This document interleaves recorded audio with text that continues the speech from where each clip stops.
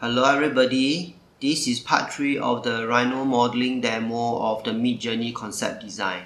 And in this part, I would like to walk you through the creation process of this, this, and this feature over here.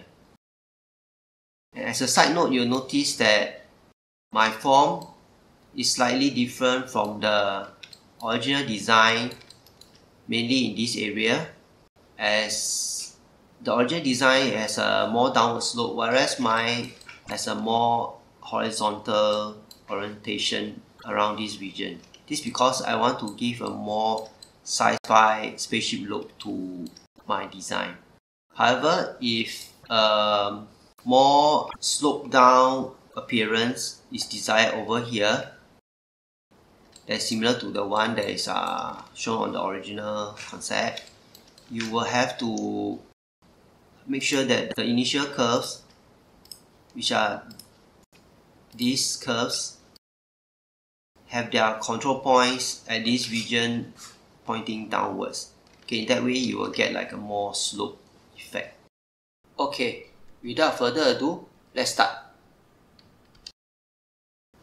Okay the first thing I want to do is to create the curves that will form the basis of the backend feature.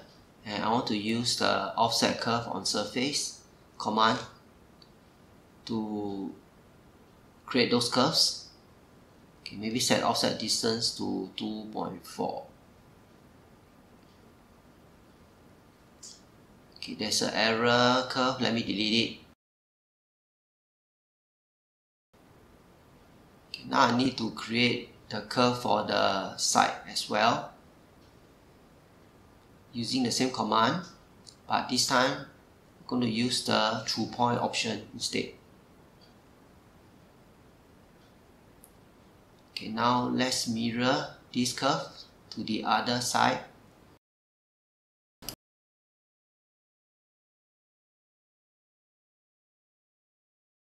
Okay let me join the curves together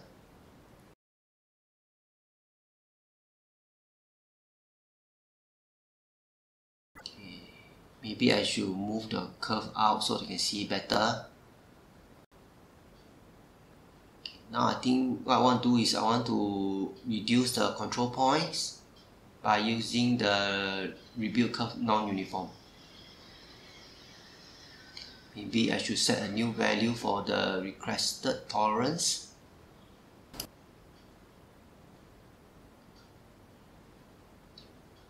Okay let me extrude this curve into a surface using the gumball. Something like that.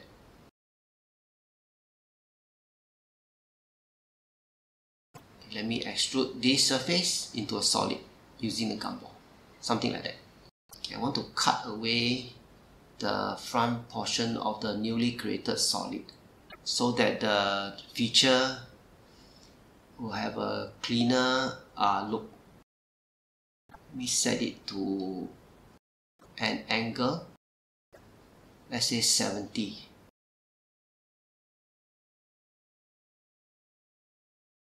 okay let me use this surface to remove the front region of this block. Okay it's done I can use this block to create the back feature of the main body by using boolean difference okay? I'm placing the block into position. And then let's use boolean difference. Okay great. We got a feature at the back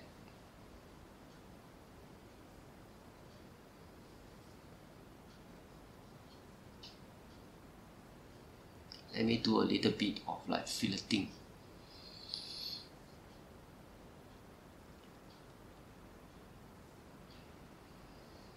Let's use blend edge instead for a nicer transition. Okay let's repeat this. Okay now I want to do the feature on the top.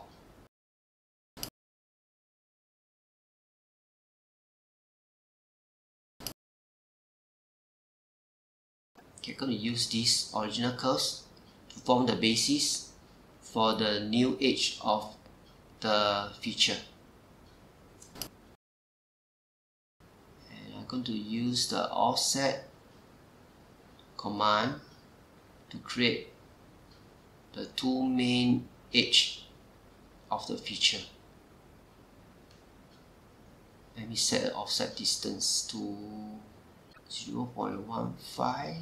Let's try 0 0.15.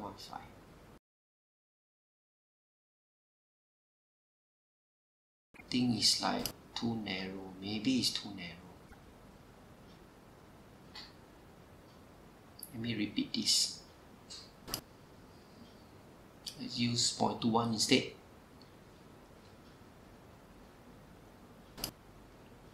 Okay, I think it's a bigger gap now.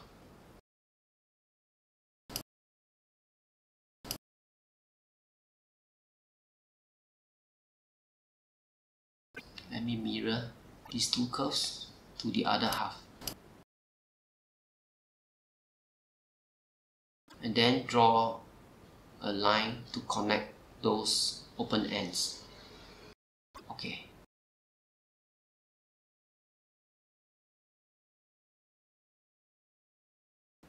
I think I created enough curves to create a planar surface, which I'm going to do now. Okay, surface for planar curves.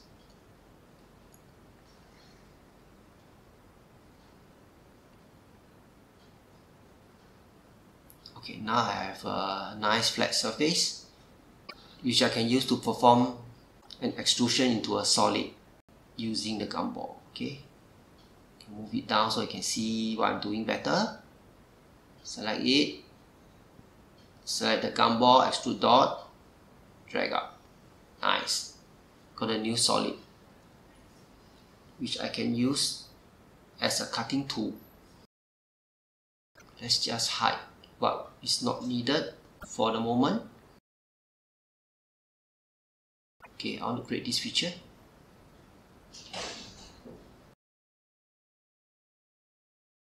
Let's use boolean difference. Nice. Got a feature now.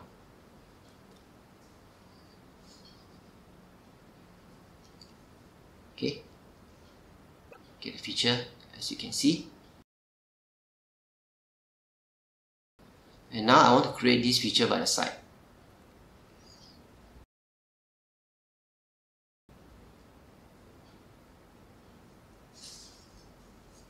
And firstly I will need to create a curve that will be projected onto the side. Let's navigate to the right view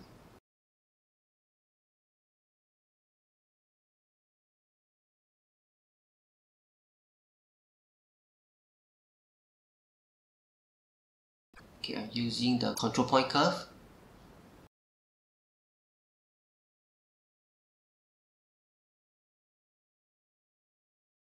Let's let me repeat this again, sorry.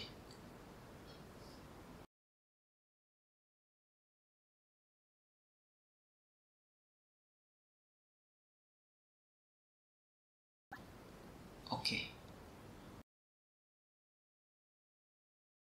Make sure that the main region is horizontal on the curve. Now I'm going to click the record history before I do the project curve on surface process. Okay, select this like this. Okay, you can see that now the curve has been projected onto the object. and because it is a recorded history if I move this you'll be updated.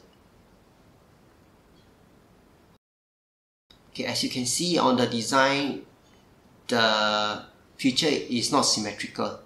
Okay so I need to actually project twice. Let me create the feature for one half first.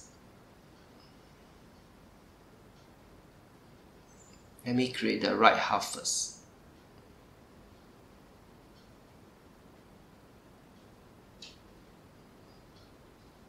I think this is about the correct height.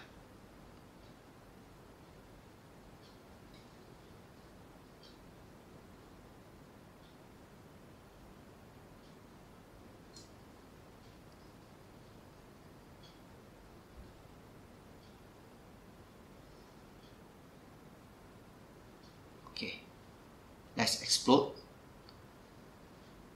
the curve and then keep only what is required. Don't need this. Don't need this. I need this. Don't need this. Don't need this need this.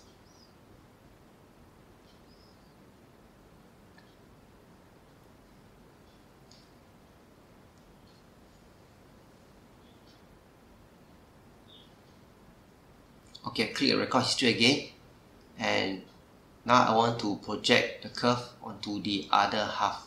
Repeat the same process again and then adjust the original curve to an intended location.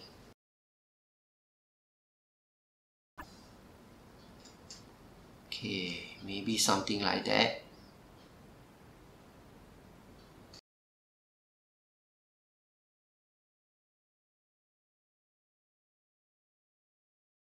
Okay, let me click explode so that I can keep what is required don't need this. Don't need this. I don't need this.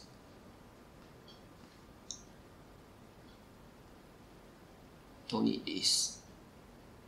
Somehow I find that the curve on the right is not at the ideal position. Maybe I should redo that curve on the right again sorry about that. Okay I'm going to delete it and I want to reproject that curve again. Coming to the right view and redo the process again. Let me move the original curve again. Oops, sorry sorry. Uh,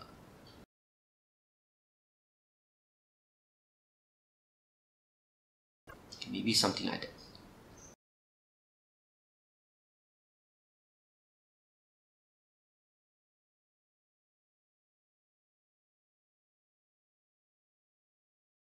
let me explode the projected curves and delete away what is not required.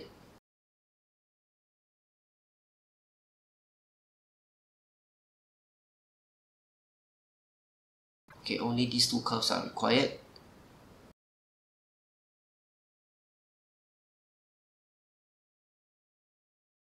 Let me join them.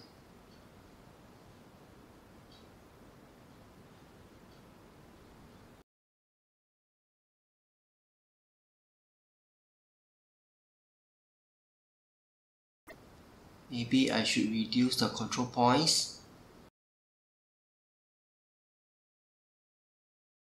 By using the rebuild curve non-uniform.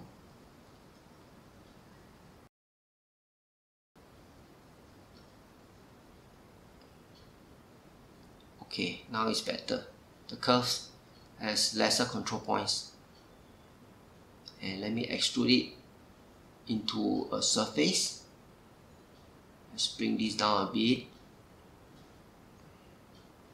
Let me extend the size so that we can perform a safer or better split later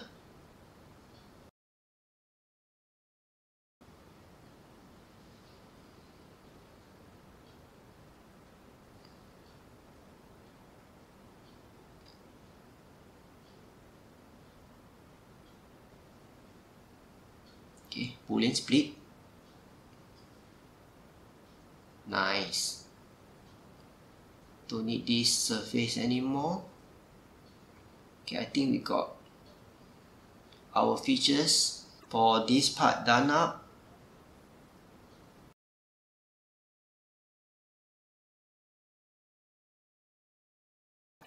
Maybe I should assign material so that I can see the result of the features creation better?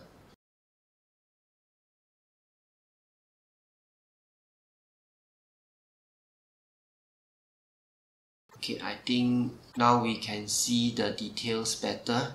After materials has been assigned to the various details. With that I come to the end of this demo. Hope that's been useful see you bye